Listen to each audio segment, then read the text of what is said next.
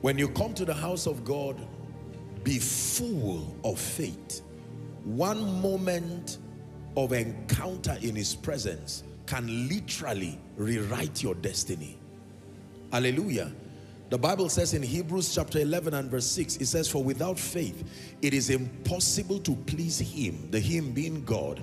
For he that cometh to God must believe, number one, that he exists, and then number two, that he is the rewarder or a rewarder of them that diligently seek him.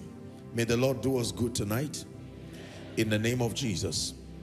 Hallelujah. Let me start by prophesying over your life. I think when I was praying, the Lord gave me a scripture, Deuteronomy chapter 8, 7 to 9. I have to obey God and speak it over your life. Then I'll charge our hearts tonight. Just allow me read and then I speak it over your life. For the Lord thy God bringeth thee, this is the scripture that came to me while I was praying, into a good land, a land of brooks of water, of fountains and depths that spring out of valleys and hills, a land of wheat and barley and vines and fig trees and pomegranates, a land of oil, of olive and honey. Verse 9, a land wherein thou shalt eat bread without scarceness. Thou shalt not lack anything in it. A land whose stones are iron, and out of whose hills thou mayest dig brass. This is provision even in the times of scarcity.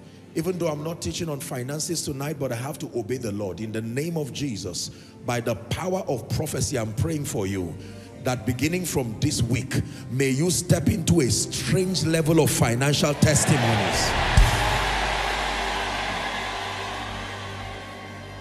We call upon God who has graciously shown us mercy that in the name of Jesus Christ, everyone connected to this grace, I'm prophesying to you by the Spirit of the living God, not not in two weeks, not in three weeks, not next year, not in March. You have the faith to believe I speak over your life. In the name of Jesus, step into a realm of extraordinary abundance.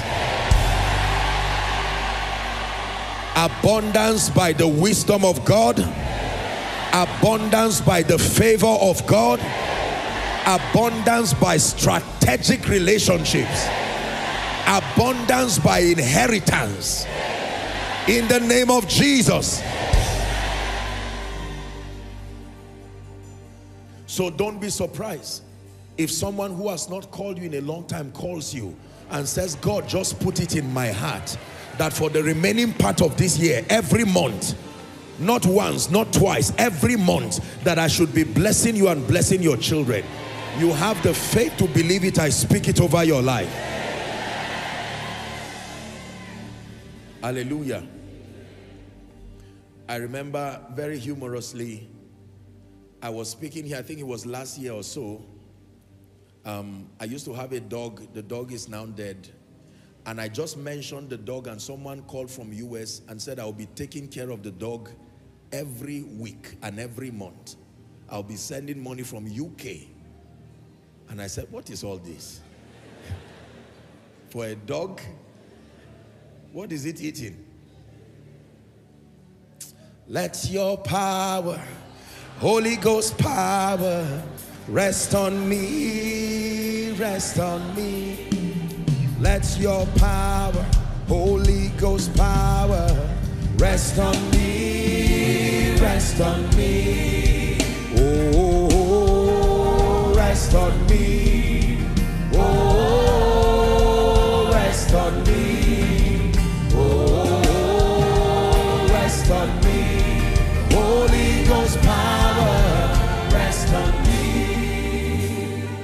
I've taught you that it is what is upon you that controls everything around you. Believe me when I tell you that. It is what comes on your head that controls what is around you. It says, thou anointest my head with oil, but I see the effect of what is on my head on my cup. He doesn't anoint the cup. Thou anointest my head with oil. and my cup runneth over.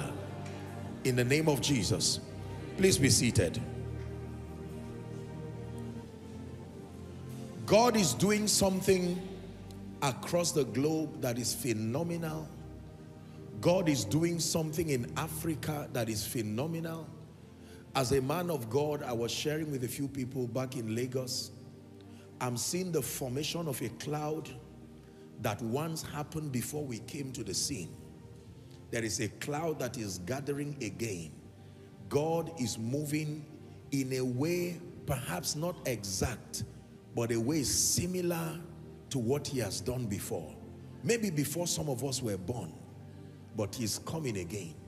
And we are seeing the formation of that prophetic cloud gathering from region to region, gathering from nation to nation, gathering from continent to continent. Perhaps could it be the formation for the last move of God before Jesus returns?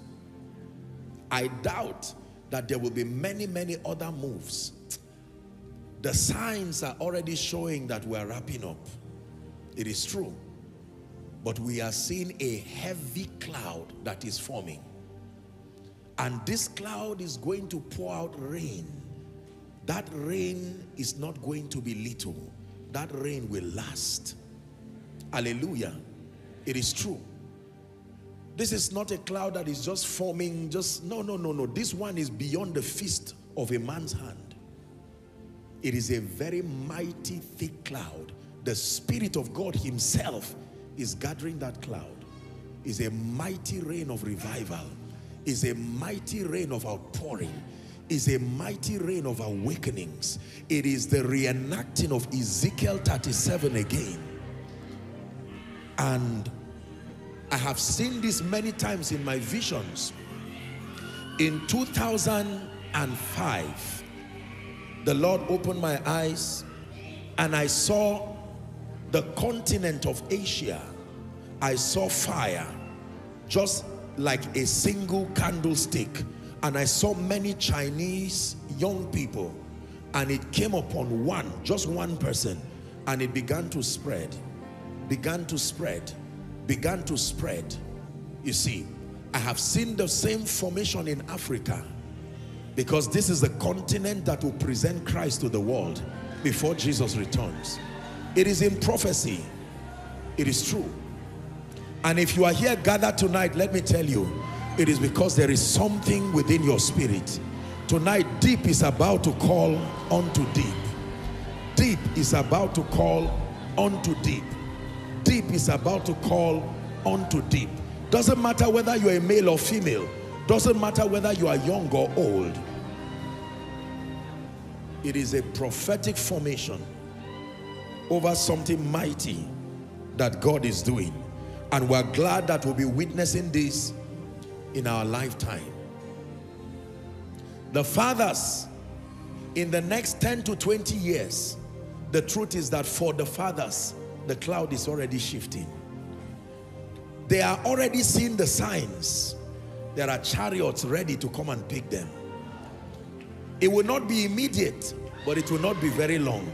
There is a baton in the spirit, a transference, genuine, authentic graces and mantles over the next decade. Hear me, I'm saying this by the spirit of prophecy that over the next 10 years, there will be a prophetic transition within the body of Christ. There are many. Others have gone, still within the decade. Men like Reinhard Bonnke, men like T.L. Osborn, Pat Robertson left this year, Morris Cerullo, they have gone. Our fathers in Nigeria are still here because of their covenant of long life. They will still be here for a while. But it will not be for too long. They know it. We know it. So there is a transition in the spirit. And Elijah told Elisha, if you can see me, if you can see me, if you will not lose focus and see me. But you see, it is not only a handing over of mantles that will be happening. There are other mantles that could not be handed over because there were no faithful vessels to carry it. And when the carriers were old, all those who were in front of them were in the order of Gehazi and Judas. So they could not hand over the mantle. And many of them died with the mantles. But you see, mantles don't go back to heaven. No. That means they are somewhere being preserved by the Spirit of grace, waiting for vessels that will become fit and dexterous. Listen, you will see mantles that we have not seen in the body of Christ maybe for the last hundred years. I pray we have the grace to receive them. You will see people walk in mantles that the last person who walked in it was written in the Bible. And you are wondering, where did this grace come from? This blend of spiritual formation. Where is this one coming from? I have seen this and it will happen. There is a mighty formation. If you are not aware of this, it is because you are not spiritual. The Bible says these days will be like the days of Noah. In the days of Noah, there were two groups of people. There were those who understood what God was doing and they were participating in the building of the ark. And there were the mockers and the naysayers, completely disinterested. But the Bible says it was God himself that came to shut the door. And when he shut the door, the flood came. And everyone who was not in that act of safety died. Everyone. Hallelujah. One of the graces that the apostolic ministry enjoys is access to the dealings of God per season, per dispensation, so that you understand what God is doing and then you can interpret what God is doing and help his people prepare. So that when he comes in that regard, there are vessels that are prepared to be mightily used by him. I have a brief charge tonight and the title of my message is This is the Generation. This is the generation. I'm teaching tonight on the making of mighty men. I want to show you from scripture how men become mighty in the spirit. I want to show you how people become of weight and stature in the spirit. And if you pay attention to what you are learning tonight, you will become such a mighty vessel. This is the generation. Mm.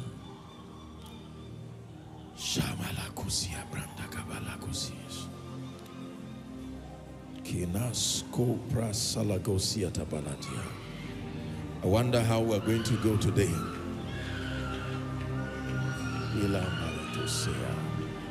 Hey, Shabarus Kadia. Kratakata balako sabrende gebalash. Krapatos hebre kadi balato shebris. Embrege bereko shabraskata valash kiambaraso biata sigedesh. Krata bareza de belentas ki balako siata. Krais kanina mahashene mende gebaratos kotovraskia. Imbrakata tibalas sanana shabaratos kabiata. Praige de sabarantos sovraski balekapa. Imbrateka paratos koto pratibalako savrist. Skadibalega de bratakata fraskata balanda gabarusiate.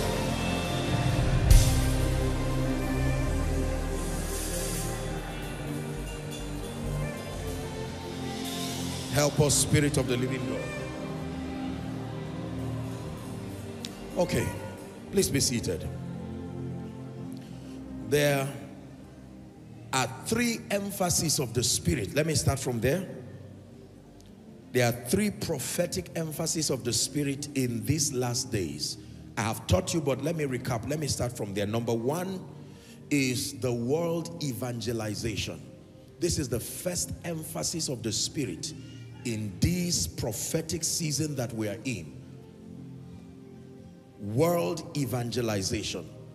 The Spirit of God, like never before, is raising men and he's moving across the length and the breadth of this earth for that one final wave that will bring in the harvest. Are we together? In order of divine priority, God's emphasis right now is a greater determination by the Spirit to find laborers that can make world evangelization a success. Number two, what is the second emphasis of the Spirit in this season? The maturity of the saints. The maturity of the saints. In addition to world evangelization, the second emphasis of the Spirit in this season is that the saints come into an experience of maturity, holistic maturity. Number three, what is the third emphasis of the Spirit over the nations in this season? Territorial transformation. That territories will experience the light, the power, the wisdom of God in a way that the cosmos will have to admit that this is the workings of God.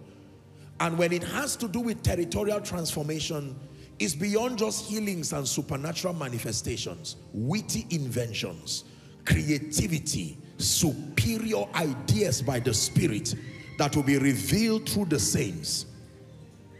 It's important for you to know this. This is what God is doing in this season. World evangelization. What we are doing in the crusades and the conferences across is in honor to this call and this mandate that he desires that all people be saved and then to come unto the knowledge of the truth. World evangelization, the maturity of the saints, territorial transformation. Now, I want you to listen very carefully. The major challenge, in my opinion, and I submit to you that particularly in Africa, there's been a growing dissatisfaction as far as nominal Christianity is concerned. People are beginning to be tired, tired of the ritual of religion, tired of church as usual. Are we together? Tired of communications of spiritual things without the power and the authority component. People across the horizon, Christians and non-Christians alike, are beginning to get fed up.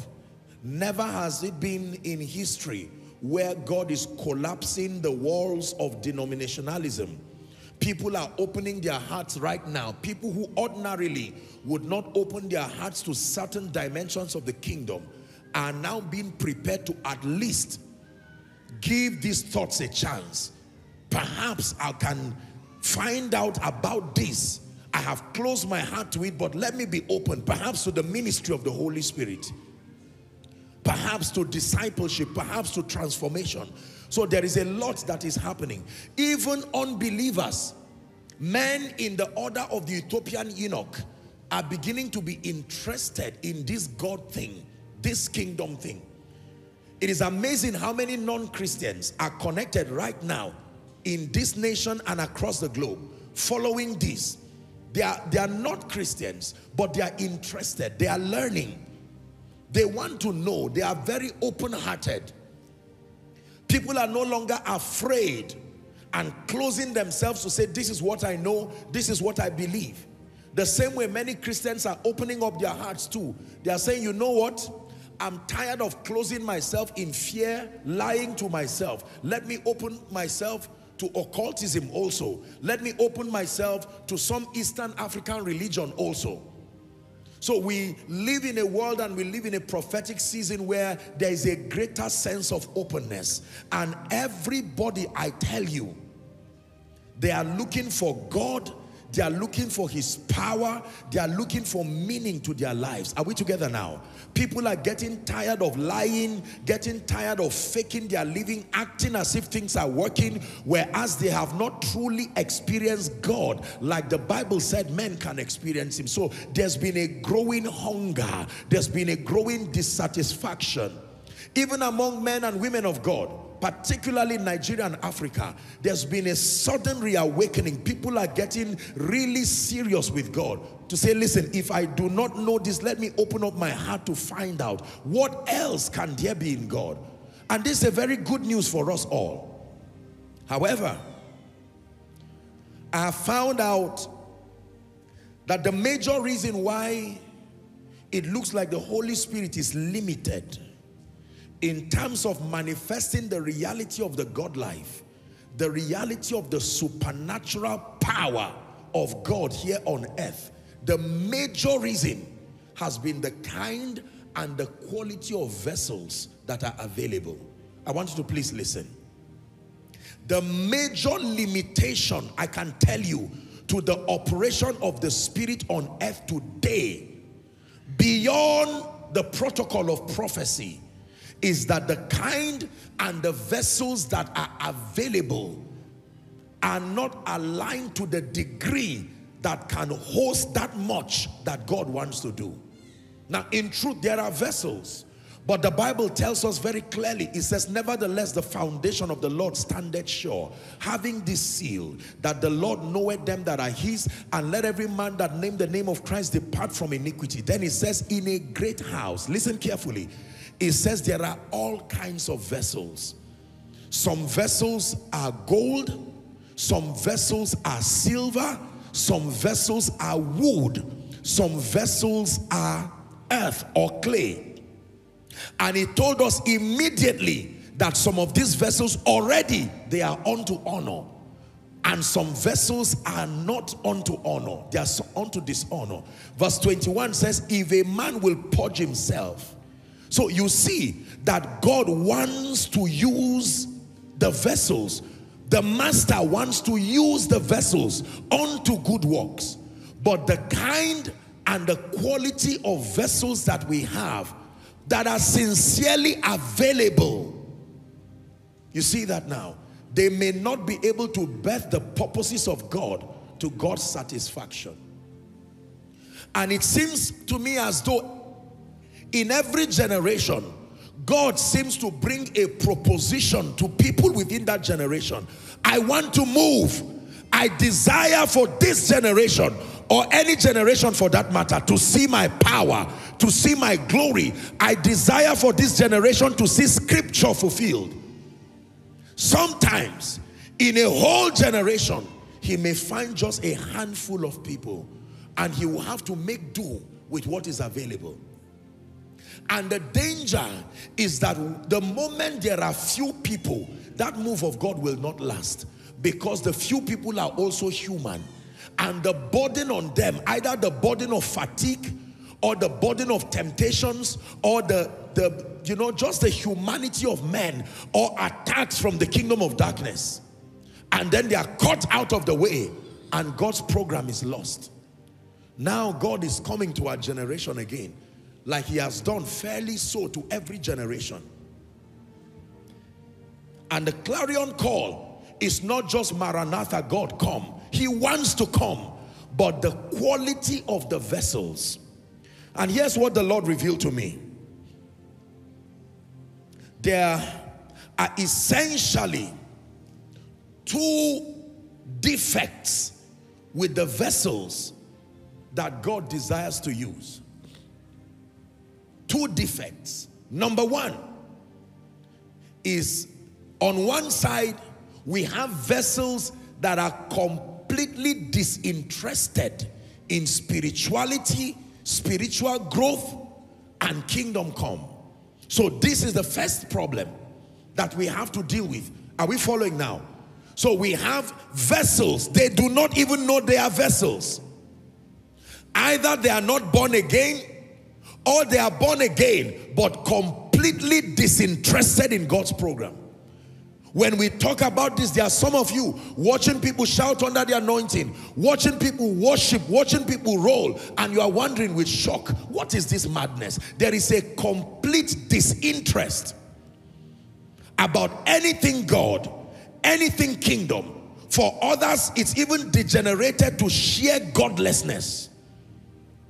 They do not want to hear anything that has the name of Jesus on it.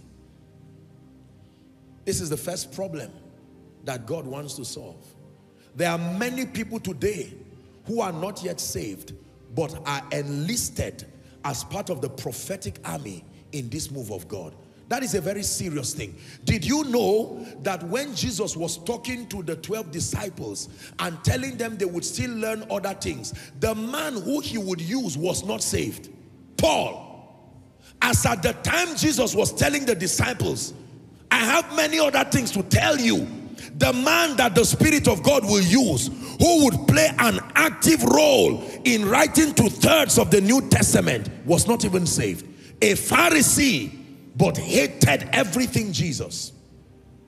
To the point that when they were stoning Stephen, the Bible tells us that as they were stoning Stephen, it was under the supervision of Paul as Saul. They kept their garments near him while they were destroying all of these people. And he saw it with joy and gladness. But one day the Bible tells us that on his way to Damascus, can you imagine that level of zeal? He obtained letter from the high priest to go and capture the people who were advocating this Jesus. And a light came, the Bible tells us. He fell down and he heard a voice saying, Saul, Saul, why persecutest thou me? And he says, who are you, Lord? Verse 5.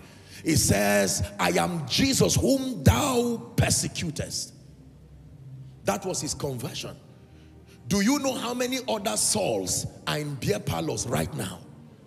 Do you know how many souls right now are in homes? Do you know how many souls right now are in some other places? They are not even aware that there is such a heavy mandate upon their lives. Imagine the world without a Reinhard Bonnke. Just remove 10 people. Let me give you 10 names. Remove them from the history of the program of God and tell me what we have left. Remove Reinhard Bonnke. Remove T.L. Osborn. Remove Morris Cerullo. Are we together? Remove Billy Graham. Remove, say, Pat Robertson. Just remove these 10 people alone. What do we have left? There is nobody who is walking in the cutting edge of God's program today that was not a product of that generation. In Nigeria today, remove all of these prophetic voices. It was T.L. Osborn who mentored Archbishop Benson Idahosa. That thing you see came from T.L. Osborn. You see, history underreported so many things. And unfortunately in Africa, we don't preserve history. So there is so much to know to strengthen our work that we do not know. The average young man that God is using now is not connected to history. We hardly know what happened before our arrival. So we cannot know what mistakes to cross, what mistakes to jump. And because our generation is largely an arrogant generation, we are repeating the same mistakes again. The things that are written aforetime, the Bible says, they are for our learning, so that we through patience and the comfort of scripture might find hope. Are we together? So the first problem that the Spirit of God wants to correct is the disinterest, complete disinterest in the things of God. Let me tell you the truth. You would think being a man of God, my life has just been full of meeting zealous people who love the Lord. I have seen people with such almost annoying disinterest for the things of God. And they have a right to reject God. It is their right. God will respect it. Except that in their disinterest, God will have to take their bishopric and give another person. Can I tell you, there are many people you see today, the burden on them is because their assignment they are carrying out was not the original script.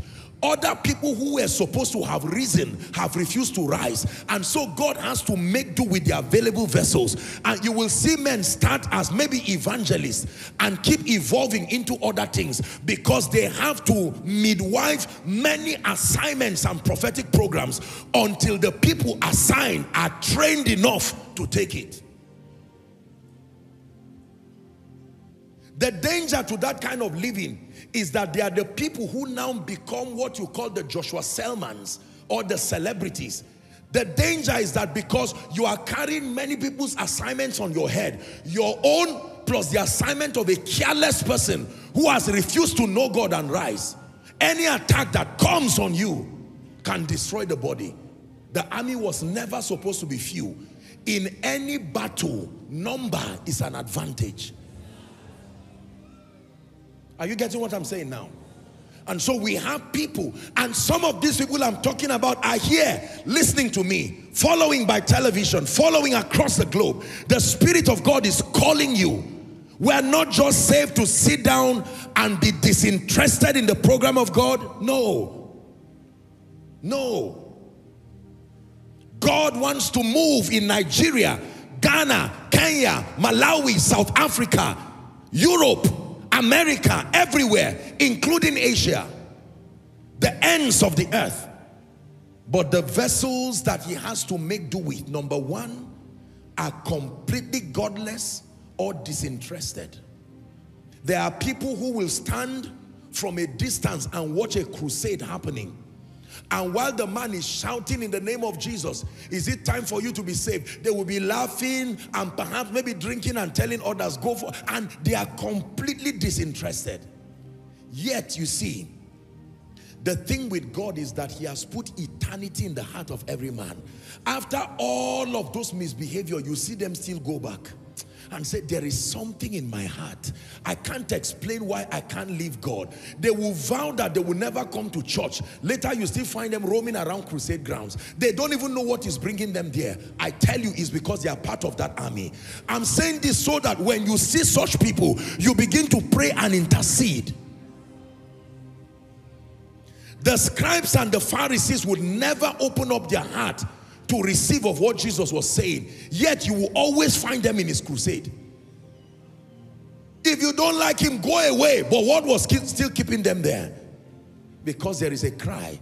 Some of you vowed that you will never come for koinonia. You are here now. You vowed that you will never come to church. In fact, you are here now. You insulted pastors and said everybody is a crook. You are still here. You know why? Because there is destiny and prophecy upon you. And let me tell you, provided you are alive, except you use your mouth to say, Lord, I reject you consciously and willingly. Leave me alone. I'm exercising my will. He will respect you. And for some, do you know, maybe based on God's prophetic blueprint, you are supposed to start your kingdom assignment actively, maybe at 20, 30. You are now 40, 45, 50. And God is saying, I'm still waiting. I know time is gone, but we'll find out what we can do with you. Do you believe what you're hearing? Disinterest. Especially for young people, because the glory of young people is their strength. And there are many young people who, I'm not talking of blind fanaticism, I'll talk about that. An altar call is made, they are not interested. The Spirit of God is speaking to them. You would be the first person to get born again in your lineage. Why do you think he brought you to church? Just to watch a man? No, too small a reason.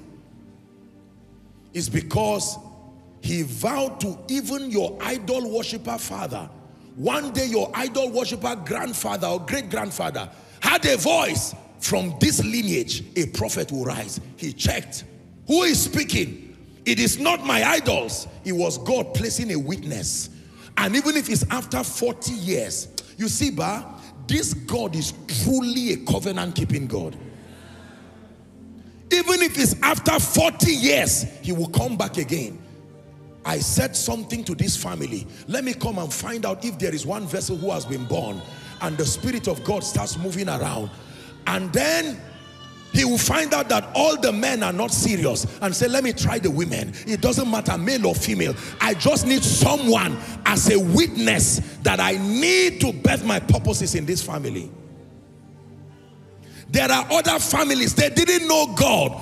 But when missionaries came to that village, they said, you know what? There is one one bedroom there. I am an idol worshiper. I won't go for your crusade, but stay in that room. And while the man prayed there, there was a witness in heaven. And God said, because this man did this, we will insist that one seed from his loins must serve the Lord.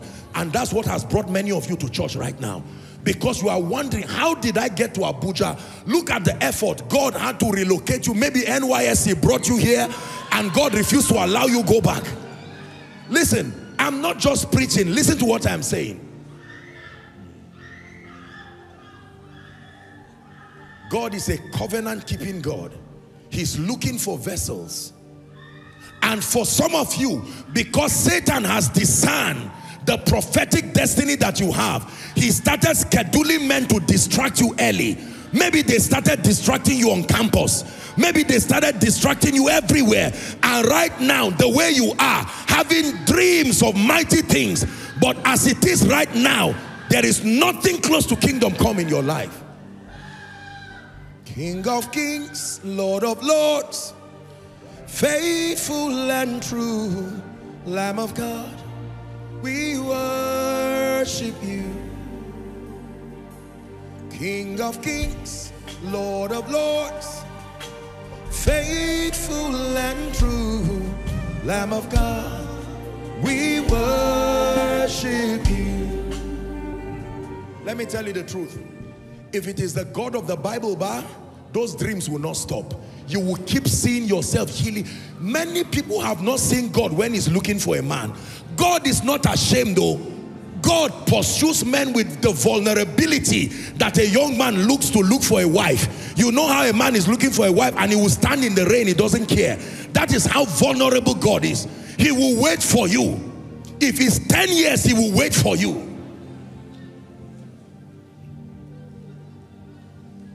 Emmanuel, all the world is calling your name.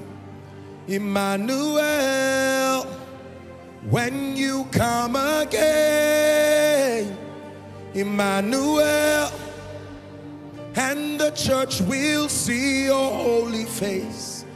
Emmanuel, when you come again. Hear me.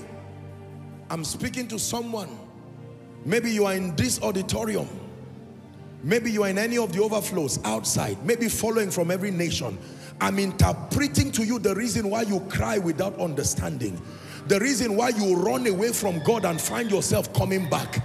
It is not just because you are running and coming. There is a beckoning of the spirit. Is a language in the spirit. He's saying, remember you are a vessel. I will not force you, but I want to use you. I will not force you, but I want to use you. You may have destroyed your life, but he can still use you. Desperately finding vessels. Can I tell you the truth? Every generation has been tried. And I said this in Lagos. Every generation will not fail. I can tell you this is the generation. There is a generation that by mercy and by grace will get it right.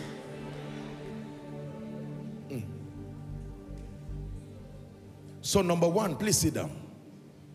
We have vessels that are completely disinterested in the things of God, even though there is prophecy upon their lives. They tremble at the word of God, but something within them has refused to respond to their maker.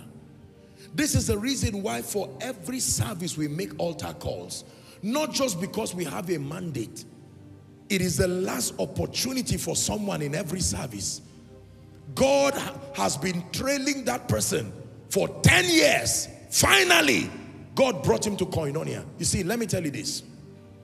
When you see the way we prepare for service in this ministry, this is also part of the motivation. When we pray, when we build up our spirits, when the worship team prepare to set the atmosphere, is because God knows he's finally finding one vessel Finally. And I can tell you for someone watching me, The Spirit of God is rejoicing at what I'm saying. Heaven is rejoicing because He's saying, finally, now I can fulfill what I promised this lineage.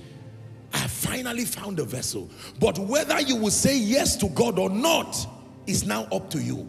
Do you know it is within your power to look God at the face and say, I reject you.